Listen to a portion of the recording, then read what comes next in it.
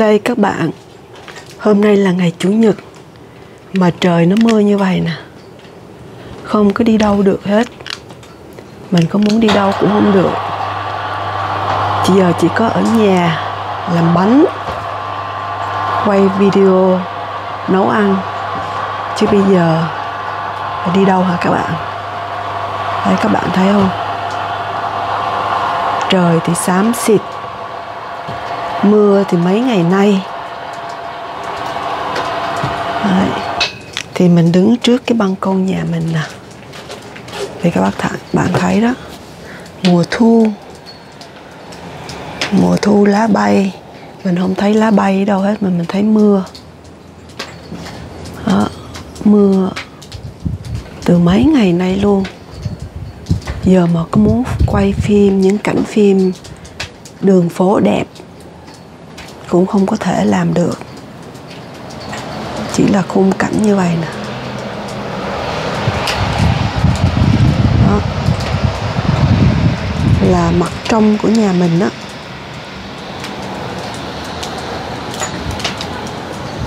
mùa thu nó là như vậy đó các bạn. Có khi thì nắng đẹp, nhưng mà đa số là mưa sáng sớm rất là lạnh. Và xế chiều tối cũng rất là lạnh. Đấy, ok nha các bạn. Bây giờ mình vô nhà. Mình chỉ có làm bánh thôi. See you.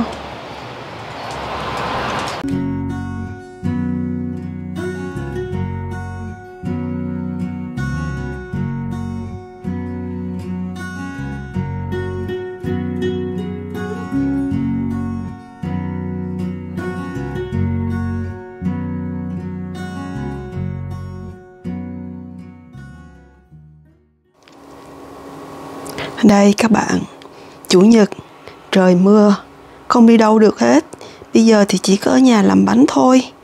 Và hôm nay mình sẽ làm món bánh gọi là Việt Nam mình á có đặc biệt có một món bánh mà hồi nhỏ mình rất là thích luôn mà Tết nào thì cũng được ăn gọi là bánh mai quế lộ với lại nhiều khi người ta đến thăm gia đình á người ta cũng tặng cho mình cái món bánh đó thì cái bánh đó gọi là bánh mai quế lộ. Nhưng mà mình thì làm sao mà làm được à, một loại bánh đặc biệt của Việt Nam mình mà có tên là mai quế lộ. Thì đây mình gọi là bánh kẹp đi. À cái loại bánh kẹp đi. Chứ bây giờ lấy cái tên đẹp của người ta cũng không được. Thì bánh mai quế lộ á thì mình ăn trong đó có có hột hạnh nhân mà nó giả nhuyễn đó. Với lại cái mùi uh, mùi quế ừ. cho nên người ta gọi là mai quế lộ ừ. nhưng mà mình không có hạnh nhân ở nhà mà mình cũng không thích dùng đậu phộng mà mình cũng không thích dùng mè ừ. tự vì à, mình sẽ làm bánh này à, với sữa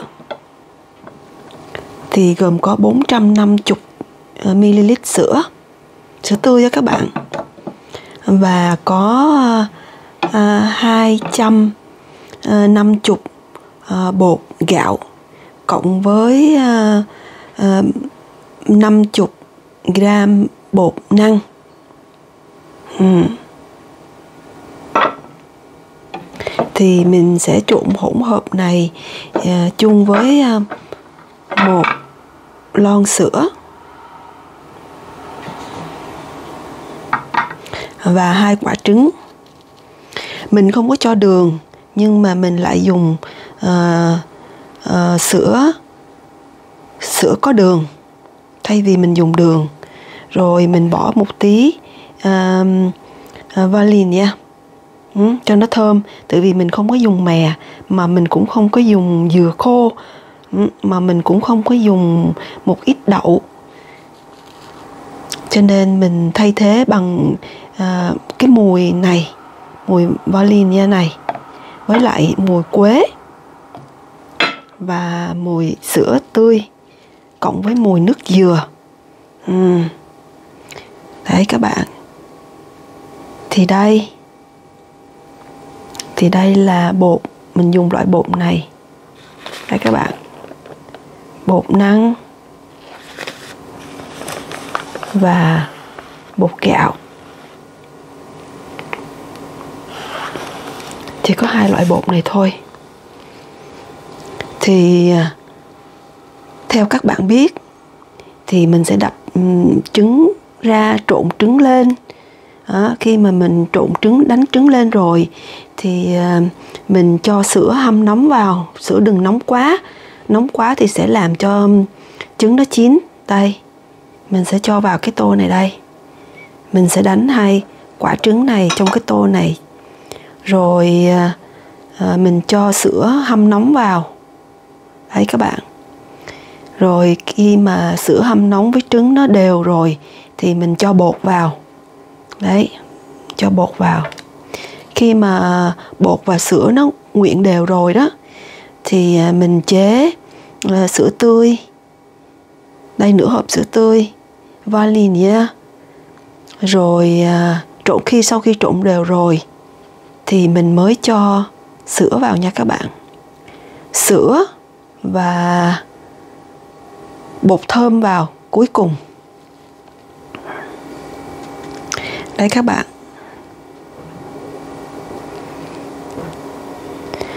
Đây là những dụng cụ cho một bữa làm bánh của mình. Đấy.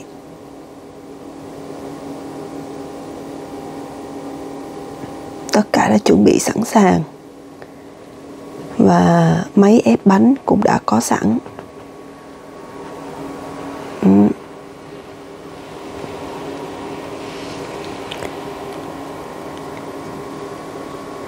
ok nha các bạn. Mình bắt đầu vào cuộc hành trình đây.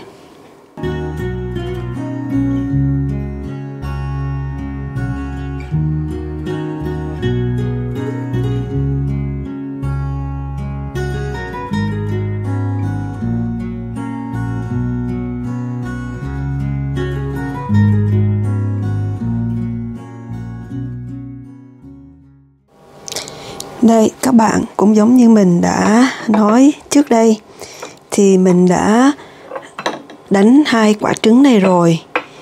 À, rồi mình đã đổ sữa vào trong trứng mình quậy lên. Sau đó thì mình à, à, cho bột vào. À, theo cái lượng dung dịch bột mà mình đã nói trước đây đó thì à, có đôi khi á ờ, nó vừa đủ. Có đôi khi á, mình phải ờ, cho thêm lượng bột vào thì mình để sẵn ở đây. Nếu mà lỏng quá thì mình cho thêm lượng bột vào. Thì đây là một tô bột mình đã khuấy sẵn. Bây giờ thì mình chỉ khuấy cho nó đều nó tan đều ra. Rồi mình cho nước dừa và uh, sữa tươi vanille và quế vào. Rồi mình sẽ à, đưa vào máy bánh kẹp lên nha các bạn. Ok bây giờ mình lại tiếp tục. À, coi nó có thành công không nha các bạn. Ok see you.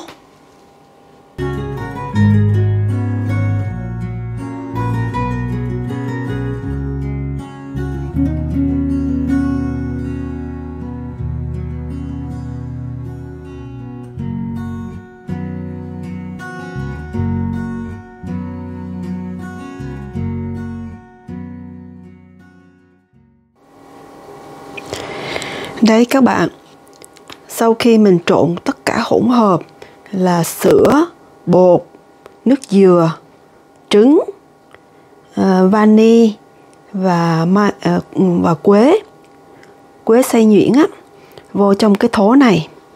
Như nãy các bạn xem đó. Thì từ cái thố này mình đưa vào một cái rây, mình đổ vào một cái rây. Mình trộn trong cái rây này cho hỗn hợp nó đều rồi mình nhấc cái ray lên. Đó, mình xem nếu mà cái ray này nó còn chất bẩn á thì mình bỏ đi. Bởi vì bột là bột Việt Nam đó. Đó cho nên uh, mình không nói là Việt Nam làm đồ ăn không sạch. Nhưng mà những cái dung dịch mà nó còn động lại này nè thì ờ, là những chất bẩn đó. Ừ. nó kết nối lại đó nó kết nối ở trong bột á cho nên mình không nhất thiết là phải mang theo. À, là một. Cái thứ hai nữa là mình không nên dùng cái máy mà mix á. À, mình nghĩ là mình dùng cái máy mix đó thì mình không cần cái ray. Đó, không đúng đâu các bạn. Từ cái máy mix đó là nó hòa tan bột lại với nhau nhưng mà cái chất bẩn á nó vẫn còn nằm lại ở đó. Cho nên nếu mà các bạn mà có dùng cái máy mix á, đánh á thì cũng phải dùng lại cái ray này để mình lọc lại bột. Đó thì cái tô bột ừ, trộn đều là ở đây. Và cái tô bột mà mình trộn trong cái bước đầu tiên là tô này. Rồi mình sang qua cái ray này qua cái tô thứ hai. Đó mình không có dùng cái mix machine. Đó, mình chỉ quậy bằng tay thôi. Thì đó các bạn còn sữa đó thì lúc đầu tiên là mình mang ra nửa hộp sữa. Nhưng mà mình để lại một chút từ vì thật sự mình cũng không có thích ăn ngọt lắm từ vì cái bánh này nếu mình ăn với kem á thì rất là ngon. Thì kem nó ngọt rồi. Không nhất thiết là phải dùng rất là nhiều đường hay sữa. À, mình lấy cái lượng à, nước cốt dừa là nguyên một lon hơi nhiều theo cái dự tính. Cho nên cái số lượng của bột của mình á một bịch đó là mình dùng hết luôn. Một bịch gạo đó là 400 gram là mình dùng hết luôn. Tự vì cái số lượng nước dừa của mình á đó, nó nhiều hơn cái cái dự định. Nhưng mà lượng ờ, ờ, đường trong sữa sữa đặc này đó thì mình giảm lại. Tại vì mình không có muốn ăn ngọt. Đó. Bây giờ thì mình để bột nghỉ trong vòng 15 20 phút thì sau đó mình sẽ uh, đưa vào máy ép nha các bạn. Đấy. Rồi à, mình sẽ dọn cái cái cái tô đầu tiên này. Đấy các bạn. Đây là những nguyên liệu và đây là cái máy ép mà mình sẽ uh, ép thử nó như thế nào. Cái máy này mình dùng mình mua mình dùng có một lần à. Bây giờ là lần thứ hai mình mới dùng nè. Mấy chục năm luôn rồi đó mới dùng lại lần thứ hai là các bạn biết là mình không có xiên nấu ăn ở nhà đâu tại mình nấu ở ngoài là đủ rồi. Đó về nhà là mệt rồi, mình không có muốn nấu nướng gì nữa, nhưng mà bây giờ thì mình thất nghiệp. Nên mình bày vẽ ra đó các bạn. Ok nha các bạn. See you.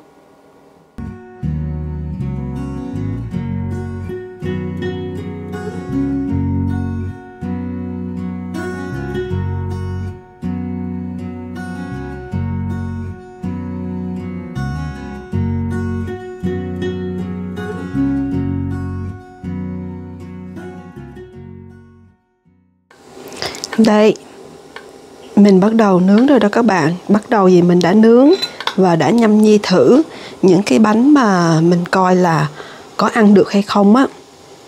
Thì à, mình sẽ kể cho các bạn nghe là mình đã chỉnh sửa nó như thế nào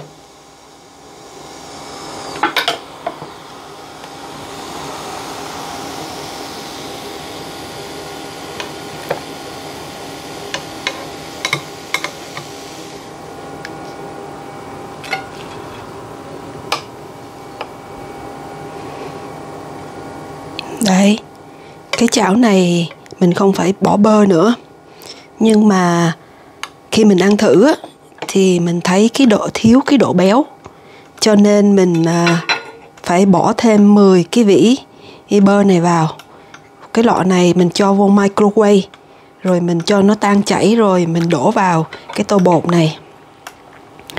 Khi mình ăn thử á, thì mình thấy là ừ, cái độ sữa mình cho vào á nó không có đủ mình nó không có tăng lên cái vị bánh. Cho nên mình cho hết luôn cái số uh, số sữa sữa đặc vào. Đồng thời uh, mình chế thêm uh, một ít mật mật ong. Thì cái lọ này thì lúc nãy thì mình còn nửa nửa lọ mật ong. Mình cho vô luôn luôn hết luôn nửa lọ mật ong. Đấy. Thì đây là phần bánh đã ra lò và mình có ăn thử một vài cái rồi thì mình thấy rằng là khi mình chưa có cho bơ vào á thì bánh nó thiếu cái độ giòn nhưng mà khi mình cho bơ vào rồi á thì nó tăng cái độ giòn lên đó. rồi à, khi mà mình cho thêm mật ong vào á thì nó tăng cái độ ngọt đó, ngọt thanh à. rồi đồng thời à, cái cái quế bỏ và mình bỏ vô mà mình không có thấy được cái mùi quế mình không có cảm nhận được cái mùi quế. Và cuối cùng mình phải cho thêm khoảng một chén này nè à, mè mè rang rồi đó các bạn. Ừ. cho nên các bạn thấy ở trên bề mặt nó lợn cợn nè. À, là bởi vì mình à, à, cho thêm mè rồi cho thêm quế rồi cho thêm vani. Đó để cho nó đủ cái cái cái cái à, cái cái vị của một cái bánh chứ không mình ăn thì nó cảm tưởng như là ăn miếng bột vậy đó ừ. mà thiếu ờ, đậu phộng đúng ra là khi mình uh, đổ bột vào trong uh, máy nè thì mình uh, một là mình bỏ rắc đậu phộng lên trước xong mình đổ bột lên đó, thì khi mình ăn cái bánh đó, nó giòn giòn còn này là bây giờ thì mình ăn chỉ mình chỉ thấy có vị mè với quế thôi đó. với mọi chút uh, uh, vanilla yeah rồi đấy mình thử cuộn nhưng mà mình chưa rành mình không có cuộn được. À, mình chỉ có gấp được vào như vậy thôi tại vì nó chưa khô cho nên à, nó chưa có cứng lại. Ừ. thì mình chỉ gấp được như vậy thôi các bạn. À, thì coi như là để ăn tráng miệng.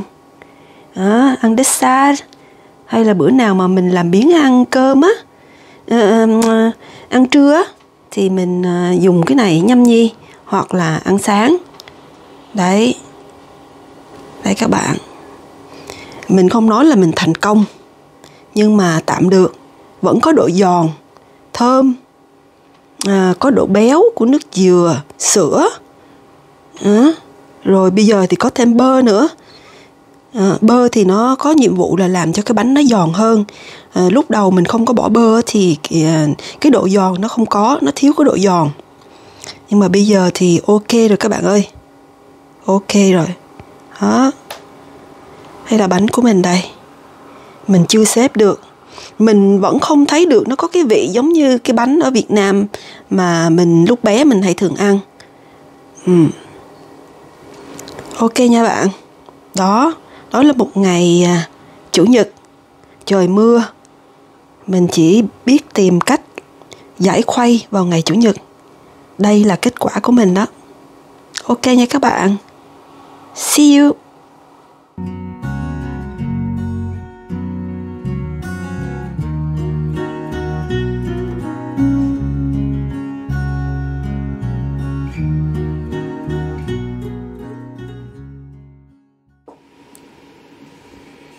Đây các bạn, dĩa bánh mình mới làm xong nè. Mình ăn à, cũng năm sáu cái đó. Mà no nha bạn, ăn kiểu này là ăn dessert đó. Thì bây giờ mình à, ăn no nê rồi. Buồn, nhàm, chán. Bây giờ mình lại lên mình nói về vấn đề postcard. Thì postcard này mình có một tựa đề là Đàn ông sợ nhất là cưới phải gái cua đây bây giờ mình đọc cái um, cái tin tức mà mình uh, tìm được nha các bạn. Đó, thì nó là như vậy. Mình đọc nha chứ không mình không có fantasy nha. Rồi mình đem ra mình đối ngẫu chơi cho vui. Đó. Thì ở đây người ta nói là so với đàn bà xấu á thì đàn ông sợ nhất là cưới phải gái cua về làm vợ. Thì gái cua là gì? Mình là, đầu tiên mình cũng nghe cái từ gái cua này đó. Tại vì những cái từ mới sau này á, tuổi trẻ nó đưa ra chứ thời mình nó đâu có dùng những cái từ đó đâu. Đó. Thì mình đọc tiếp tục nha các bạn. Nếu cưới phải kiểu gái cua này về làm vợ, thì đàn ông đa số sống khổ sở. Không chỉ có phụ nữ, mà đàn ông cũng khao khát có được hạnh phúc trong hôn nhân. Một cuộc hôn nhân mà vợ chồng sẽ nắm tay nhau đi đến cuối đời trong quan niệm truyền thống về tình yêu và hôn nhân, muốn đi cùng nhau đến già thì cả hai phải có sự yêu thương, chung thủy với nhau. Rất là văn hoa, rất là hay. Điều đó là đương nhiên rồi, phải không các bạn? Chúng ta thường nghĩ đàn ông sợ lấy phải đàn bà xấu về nhan sắc, nhưng thực tế đàn ông sợ lấy nhầm gái cua. gái cua được ám chỉ là một loại hình vi cực đoan trong tình yêu và hôn nhân. Họ thường sống ích kỷ ngang ngược và chiếm hữu trong mọi mối quan hệ. Thường nhe răng sắc nhọn và móng vuốt như cua cực kỳ đáng sợ. Nghe cũng khiếp thật. Thuật ngữ thuật ngữ này bắt nguồn từ xã hội Nhật Bản những năm gần đây. Đặc điểm của gái cua bao gồm ỷ lại quá mức, hạn chế quyền tự do của đối phương, can thiệp quá mức vào cuộc sống của đối phương, thiếu an toàn, dễ sa ngã, trở nên cuồng loạn. Mình phải lắc đầu luôn. Rồi tiếp tục nha. Đàn ông thừa nhận khi ở bên cạnh kiểu phụ nữ này khiến họ cực kỳ mệt mỏi áp lực họ cho rằng phụ nữ là gái cua thì cực kỳ khó nhận biết ý họ nói rằng là những người con gái cua này á, họ không có nhận biết rằng họ có một cái cá tính như vậy. Bây giờ mình dừng ở đây, mình nói tiếp. Nếu mà nói là họ có cái cá tính như vậy thì cũng sai. Tại vì khi hai người yêu nhau thì nếu mà có cá tính như vậy thì họ đã nhận biết từ đầu thì tại sao họ cưới về rồi họ mới nhận thức rằng là người đàn bà đó có cái tính như vậy. Rồi họ cho rằng người cô gái đó uh, cực kỳ khó nhận biết có nghĩa là không có nhận thức được mình là như vậy. Thì cái này không phải là cá tính mà cái này là một căn bệnh. Đó các bạn.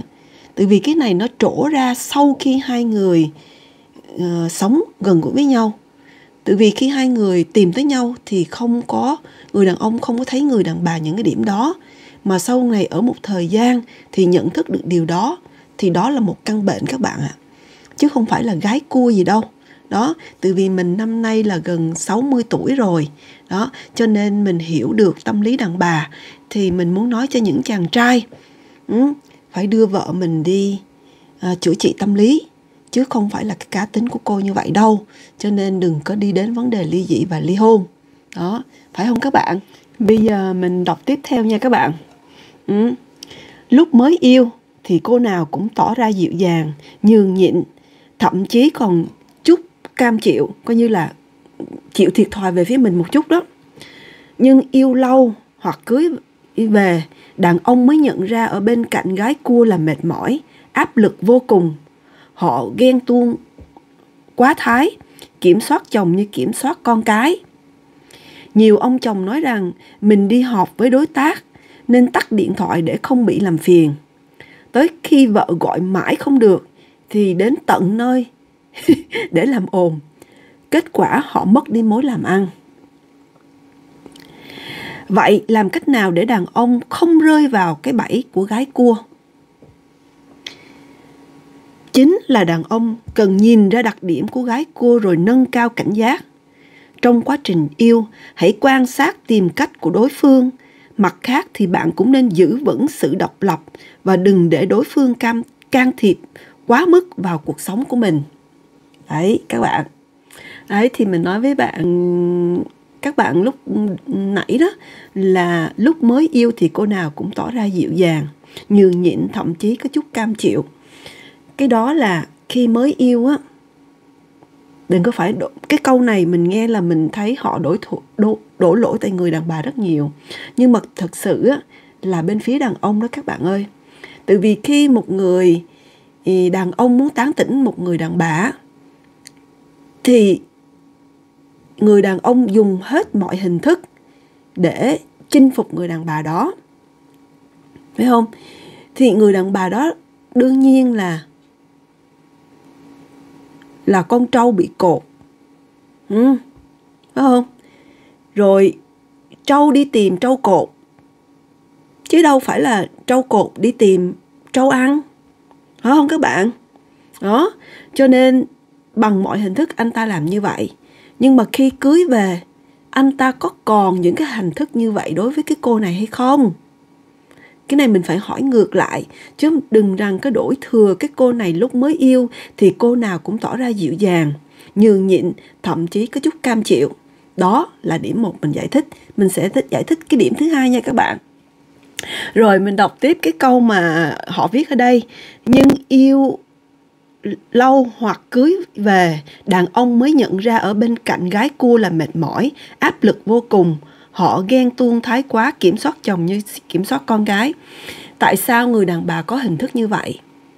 Bởi vì khi một người đàn ông lấy vợ về, có cưới, có hỏi xong xuôi, có đeo nhẫn đàng hoàng, có giấy hôn thú đàng hoàng, coi như là cái quá trình mà họ muốn chiếm đoạt người đàn bà đó đã thành công. Cho nên khi họ về nhà cái cái cái cái hình thức mà họ đối với người đàn bà trước đây nó không có giống như vậy nữa. Ví dụ như là đi thưa về trình không có nữa hả? Hoặc là khi mà anh ta muốn tắt điện thoại đi á anh ta cũng không có cần phải gửi một cái mail lên trước báo trước rằng là hôm nay anh sẽ có một buổi họp và điện thoại anh sẽ tạm ừ, đóng. Cho nên em có kiểm có muốn tiếp xúc với anh thì phải chờ sau cái giờ đó nào đó như vậy. Mình chắc chắn rằng cái sự thông cái thông điệp này á, trước khi anh ta lấy cô này á, anh ta có làm như vậy đối đối với cô ta từ vì cô ta chưa thuộc về anh. Nhưng mà khi mà cô ta thuộc về anh rồi á những cái hình thức thông báo như vậy á anh ta không có làm. Đó cho nên tại sao người đàn bà bị sốc lên? Đó đó là một cái ví dụ. Mình sẽ kể tiếp một cái ví dụ kế tiếp nha. Thì giống như nãy mình nói đó là đi thưa về trình á thì trong cái bài viết này người ta cũng có viết rất là rõ. Nhiều ông chồng nói rằng mình đi họp với đối tác tắt điện thoại để không bị làm phiền tới khi vợ gọi mãi không được thì đến tận nơi để làm ồn kết quả họ mất đi mối làm ăn. Cái sự mà đi thưa về trình này á có đúng giờ giấc hay không?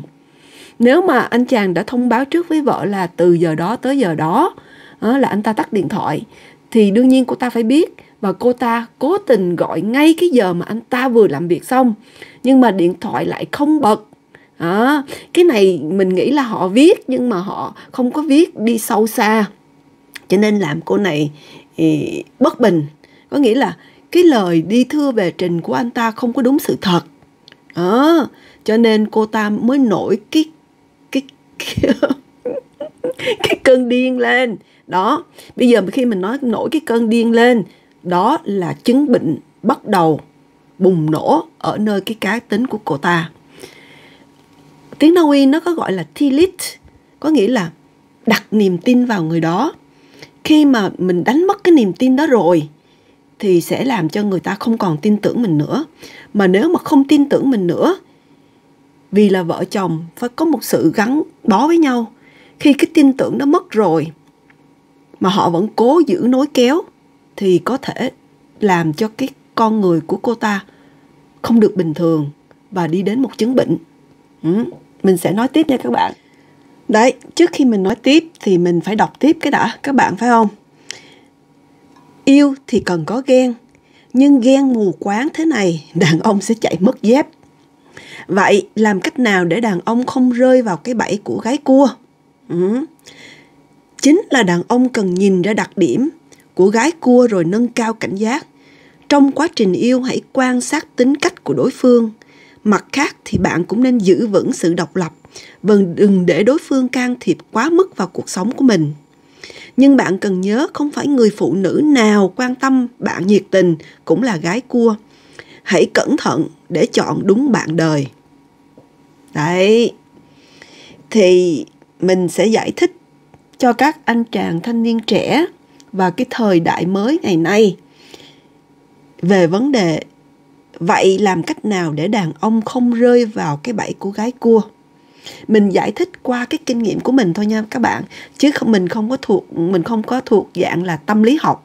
Ok thì mình sẽ nói tiếp nha. Đấy thì bây giờ mình nói tiếp. Vậy làm cách nào để đàn ông không rơi vào cái bẫy của gái cua? Cái câu hỏi này á, hơi quá đáng. Không có ai gài bẫy các bạn đâu. Đó là do ở nơi các bạn thôi.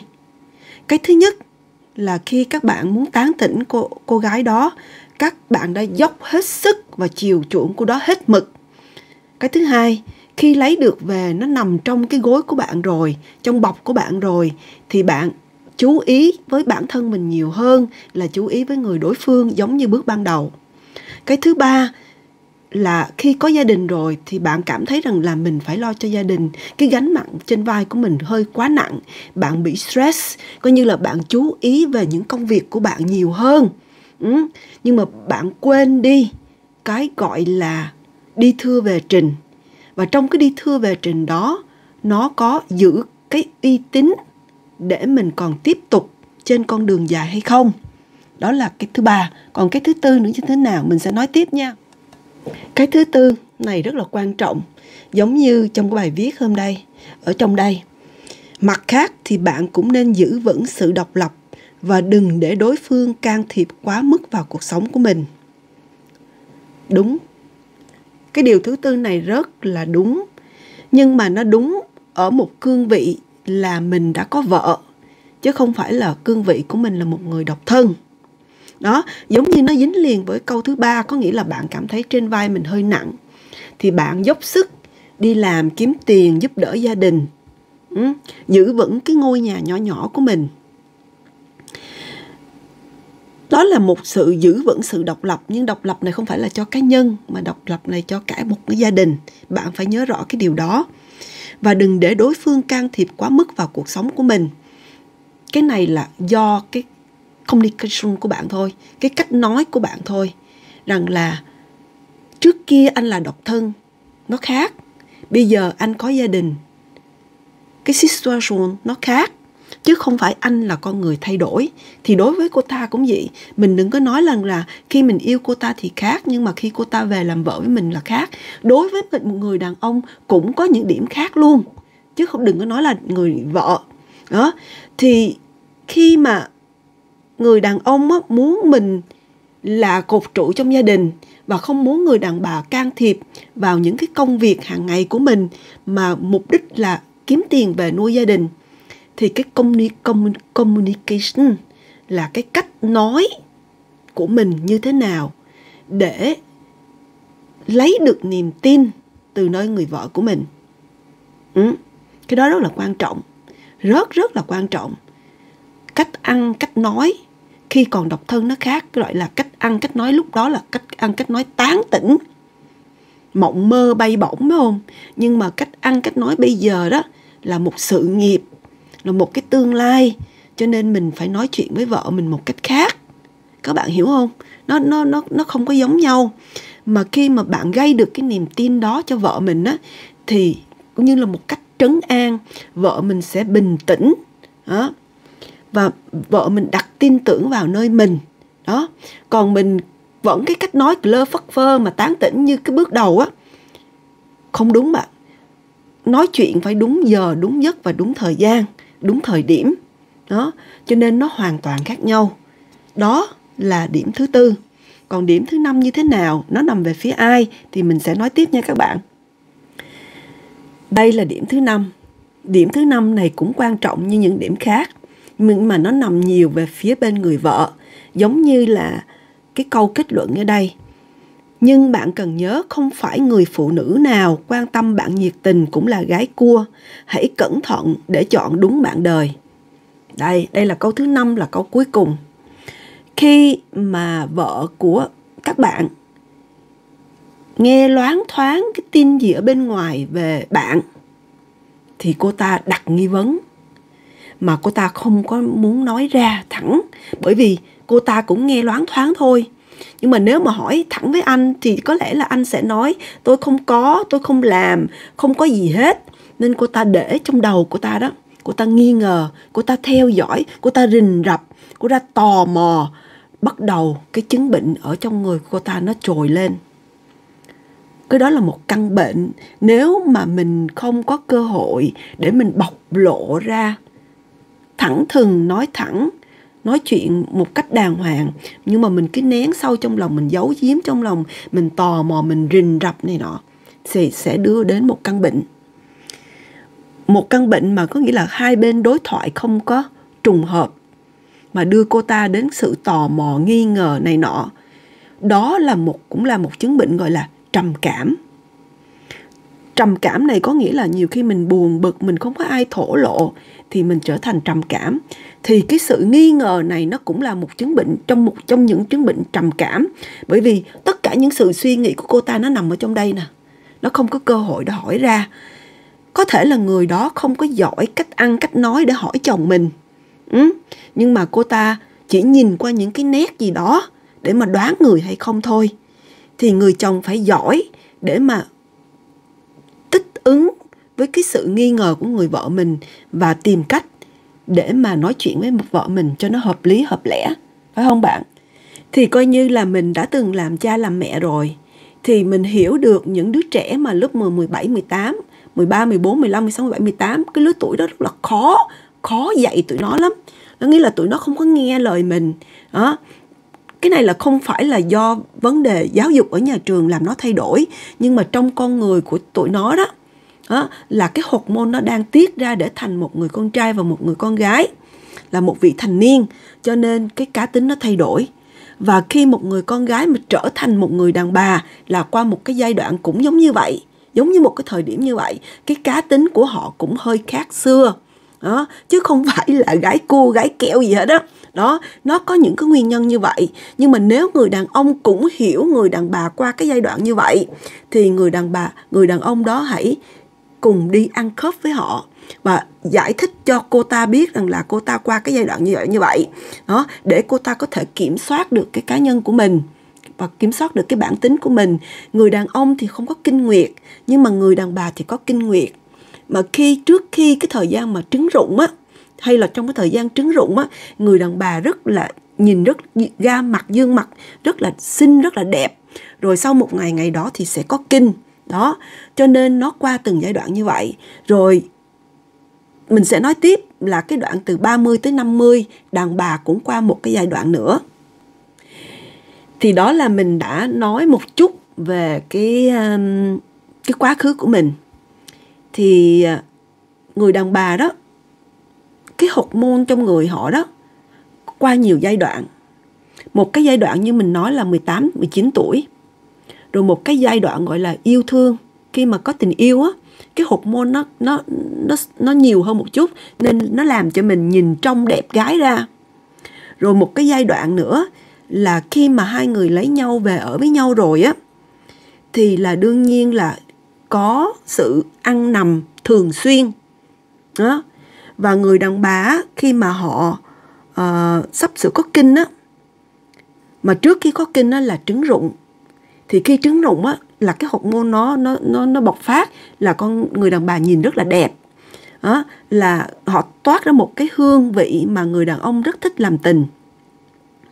Thì trong cái thời điểm mà người đàn bà cứ giao ngẫu thường xuyên như vậy á thì cái cá tự nghĩa là cái hormone của họ tăng thì cái cá tính họ cũng hơi thay đổi hơn cái cái cái cái cái cái đoạn mà hai người gặp nhau. Đó nó khác nhau ở cái điểm đó và cái cá tính của cô ta cũng thay đổi mà cô ta không có biết được và không có kiểm soát được. Nếu những cô nào mà hiểu được cái vấn đề uh, sức khỏe của mình như vậy đó thì sẽ kiểm soát được cái cá tính của mình. Và đây là kết thúc câu chuyện qua cái quá trình đời sống của mình. Năm nay mình gần 60 tuổi. Thì là mình cũng đã từng có một giai đoạn như vậy rồi chứ không phải là không đâu các bạn mình giống như một con điên vậy đó. Có nghĩa là mình mình nghi ngờ anh ta bằng mọi thứ. Ừ. có đôi khi mình rất là bực dọc mà mình không có kèm được. Nhưng mà cuối cùng là mình mới tìm ra cái cái chứng bệnh này của mình không phải là bị bệnh tâm lý. Nhưng mà tại vì à, mình với anh ta không có con được. Cho nên mình phải đi gọi là uh, đi ghép á thì mình có bị uh, chích một loại thuốc mà để tăng cái hột môn nó lên á để mà người đàn bà có thể tạo ra những loạt trứng nó nhiều hơn á. Mà khi mình bơm cái chất hột môn nó vô trong người mình á thì cái cá tính mình nó thay đổi. Giữa khóc giữa cười giữa buồn giữa giận lúc lên lúc xuống rất bình thường. Bất bình thường chứ không phải là bình thường.